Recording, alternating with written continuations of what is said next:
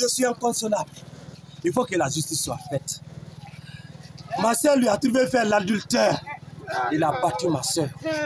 Il a cassé son bras. À chaque fois, il tient les propos Je suis militaire, je vais te tuer. Tu sais que je ne t'aime pas. Et il n'y aura rien derrière. Doumbouya, tu es le président de la République. S'il n'y aura pas la justice, je vais me tuer. Une sœur irremplaçable.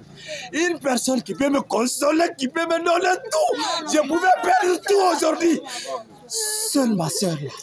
Si